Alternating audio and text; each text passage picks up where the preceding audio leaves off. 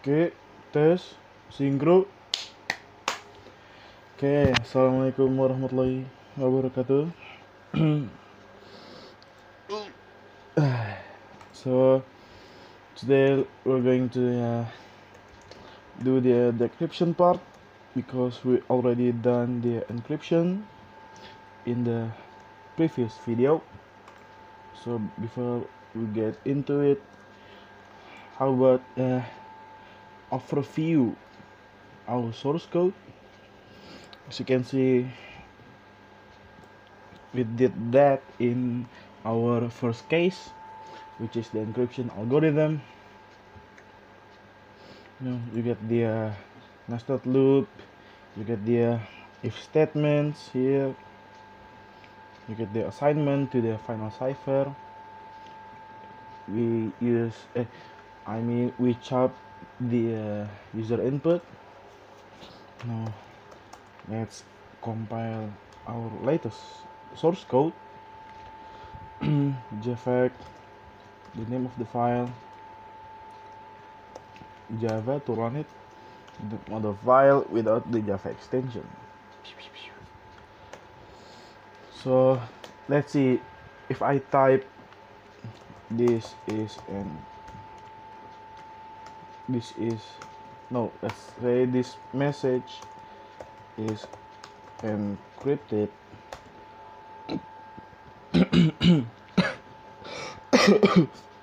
uh, so you can see we fix the uh, space issues right here hmm? so that's the uh, progress that's the latest progress. And now we're going to do the, encryption part. For this the principle is the same as the encryption so we can just uh, reverse the code from this first case. So it will make much more easier. So we can just copy this instead of input your plain text let's go with input your ciphertext you know because it's already encrypted.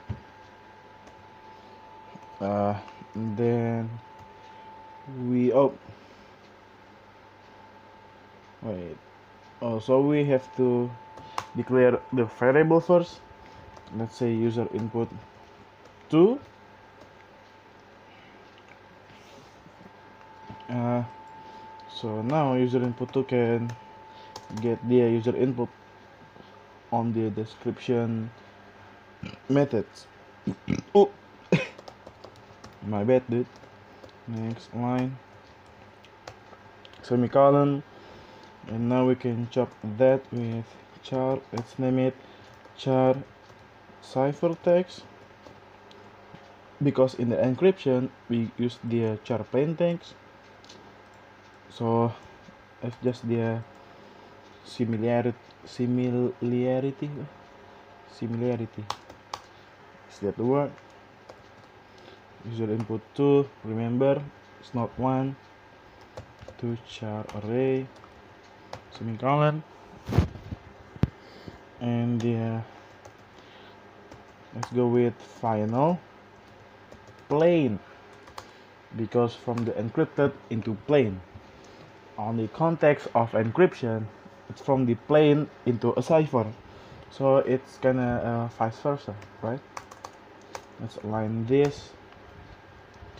New char. And the length of the index is the same as the uh, user input which we're going to use the char ciphertext dot length so it will give us the same index length to the uh, final plain. Right? That's the idea. So now I can see we enter the uh, loop statement. So let's just do that for integer i. As you can see I, I can use the uh, variable although it have the same name right? In this case it works because it is out of scope. So this variable and this variable is actually different but in the same name you know? So if my name is James then my neighbor's name also James. I mean we're both James but we're not the same person right? Is that the good illustration? It's the long of the loop will be the length of the ciphertext dot length. Semicolon i plus plus so now we can use the uh, if statement to get the uh, space character right? Because we want the space character into the plain text. Just like the encryption. So if the user input have uh, space character let's input that into our final plain. We can do this or we can do this which more likely to be a dynamic code. Now let's let, let's just use that. We use the i. So let me highlight this first so you can see the changes uh, the final cipher will be assigned to the space character since it does the uh, if statement. So, oh it should be char cipher. Wait okay. Okay now we're, now we're good right? Now for the second loop let's use the same variable m.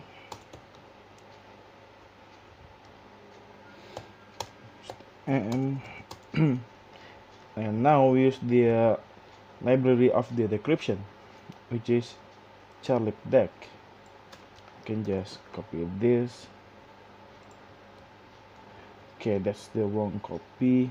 It should be control C.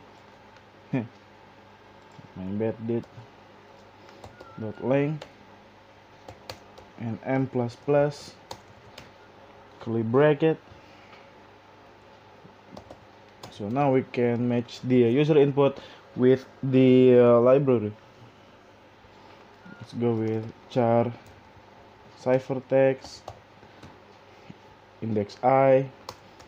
Is it equals to uh, char lib deck remember we use the deck the m index. If it yes let's go with the final plain. I charlie deck m plus 3 notice that we use the m plus 3 not m minus 1 because we already uh, reverse the library right? So in the encryption it's from abc to z with bonus three characters right? Abc and for the decryption is zyx until the CBA and another bonus character is uh, ZYX you know? So we take the uh, three first character from the beginning. No it is always. Okay. So don't forget to break or else it will mess your code. You know what? Let's just how about we don't use the break you know? Let's see what's going on. Uh, let me clear that. Let me compile this first to check the uh, syntax error. Cipher. So okay so now we get something. Not a statement. In the yeah 57 which is here. Oh we only need one boys okay so now we're good. Let's go with the java caesar. Uh, first we need to encrypt our plain text so we can see the result right? Let's go with this message is encrypted. Okay so what you want to do is actually copy this and run the code again but let's choose the uh, the encrypt method right? Because we want to see the real uh, plain text. Let's go copy this enter. Okay. So we haven't uh, print the final result unfortunately. So just let me copy this for encryption how about plot through decryption ooh. Instead of using final cipher we go with the final plain and you know and we can use the uh, c variable again. Because it is out of scope. Oh. Uh, compile. Run and this is no this message is encrypted. And then with the decrypt let's go with this. Okay so you you see when we wanted to uh, print it get the uh, array index out of bound. So what you want to do is use the break statement and hopefully it sh should be good to go. Because the if you not the break even if the uh, uh, the if statement yes the if statement is correct the iteration we will always do until it's get the last character which is not what we want. So what we want is each character have their own loop. So that's why if it match you just want to uh, break it. To get the another character uh, the loop for itself. Let's compile this first. Oh, let's see uh, this message is en encrypted. You know I'm I'm already got the uh, paste I mean the copy of it. If you haven't you just copy this. We just do the grip. Control shift V for me. And we get the result which is cool which is cool. And that's about it. And you know let me uh, clear this up a bit. Wait how about ciphertext is too high for me uh, let's do let's let's do another example right? Let's go with uh to Toshiba. Ryu. Ooh. We get this uh funny string. Just copy that. The decryption. And we, we get the uh, Toshiba Ryu yeah that's about it. Uh, okay. So that's the uh, you know on the same alignment actually. I want all the alignment is actually fit perfectly. Did I save that? Or I haven't uh, compiled. Okay uh, let's try another example right? Let's go with hmm it's too no we, we don't we can't use the uh, number. Let's go with it's 2 p.m you can see that there is a three space character. The first one the second one and the number itself because we don't put the uh, number library on it. Okay. And you can put uh, the number for yourself too you know. Feel free man. Feel free. Uh, let's go with it's too late by the okay. This is our final example. Uh, let's just paste this funny string. Okay we get the nice alignment right now. Mm -hmm. very good. Now the funny part about decryption is I mean the encryption and decryption you can do this uh, more than one iteration. So uh, maybe you have how fit you know a 64-bit encryption. What it means that first you have the first encryption and then you go with the second. So the encryption itself will iterate into 64 so you have the uh, combination of 2 exponent 64 which is more than a million. You know quick math. So let's just do that. Just delete this. Let's uh so let's do that. Uh this is this yummy yum yum. Meme just copy this. So instead of using the decrypt we can just use the encryption because we want the encryption to be encrypted again. So therefore the uh, message will be more secure.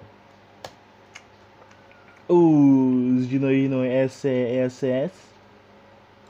let me encrypt this one more time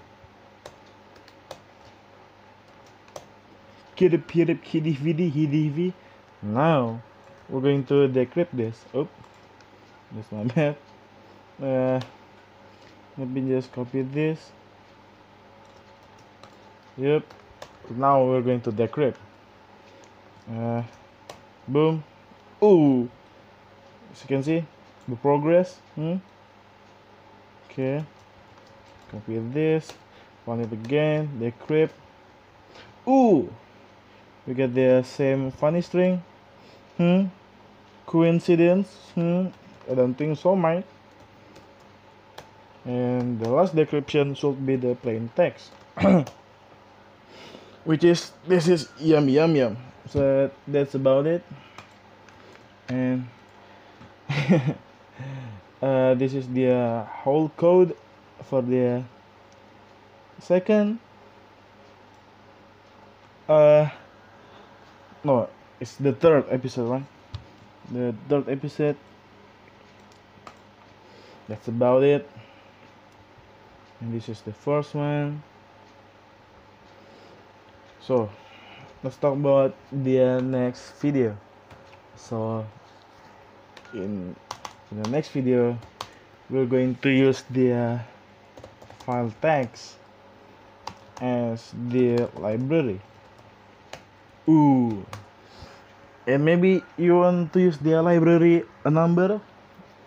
Well, guess what? Alphabet plus number plus special character ooh yeah I guess that's about it that's the refining part oh and yeah